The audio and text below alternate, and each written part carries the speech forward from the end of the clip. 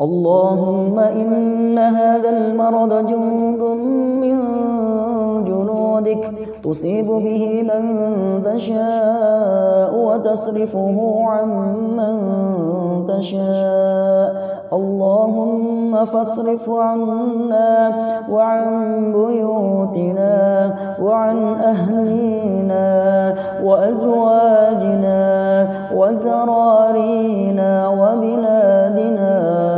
وبلادنا وبلاد المسلمين. واحفظنا مما نخافه ونحذر. فأنت خير حافظا. فأنت خير حافظا. فأنت خير حافظا.